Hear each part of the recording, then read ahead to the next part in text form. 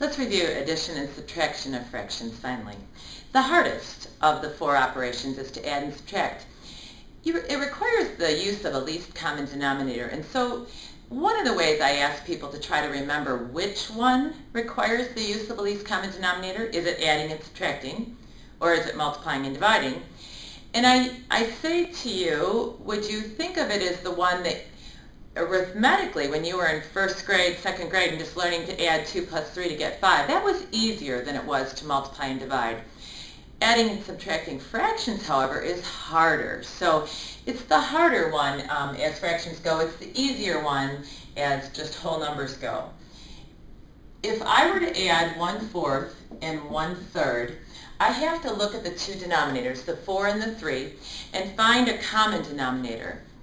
That common denominator includes the factors of these denominator. In this case, the factors of 4 are 2 times 2, and the factors of 3 are just 3 times 1. And because there are no re repetition, there's no repetition in terms of these common prime factors, I need to use them all. The common denominator for this is 12. I'm going to write that off to the side here. The least common denominator is 12 because it is represented by 2 times 2 times 3. What I need to do next is I need to take um, each of those fractions and multiply them by the number 1. So the fraction 1 fourth has to be multiplied by the number 1 in the form of 3 over 3. So that it will become, in the numerator, this will be a 3, and in the denominator, 4 times 3 is 12. And I have created what's called an equivalent fraction. The fraction one-third needs to be added to this, and I want it to have the common denominator of 12. So I'm going to multiply that fraction by 4 over 4. Again, I'm multiplying by the number 1. The numerator here will be called 4, and the denominator here, when I multiply those together, will be called 12. And when I go to add those together, I can now successfully do that. And when you add fractions, you only add the numerators. So there's 3 twelfths and 4 twelfths.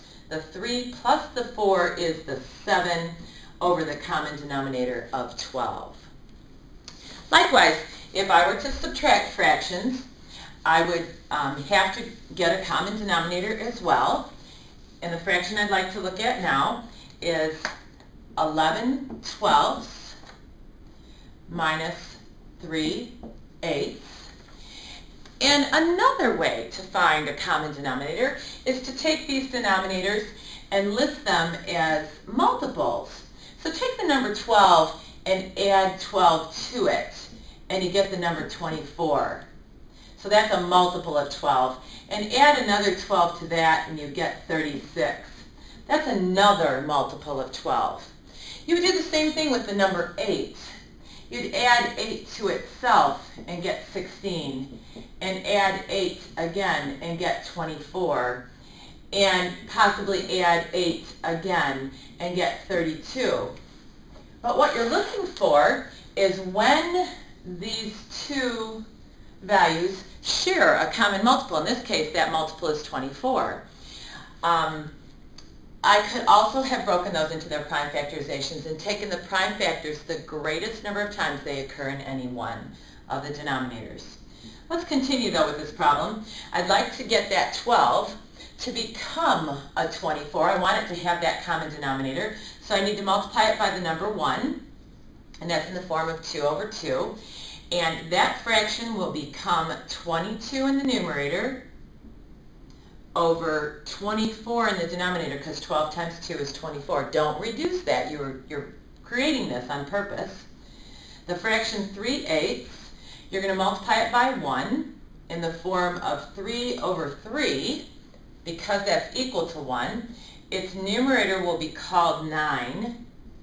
Its denominator will be called 24 and you are now able to subtract those two because they have a common denominator. You will subtract their numerators. 22 minus 9 is 13 over that common denominator of 24, and you're all done.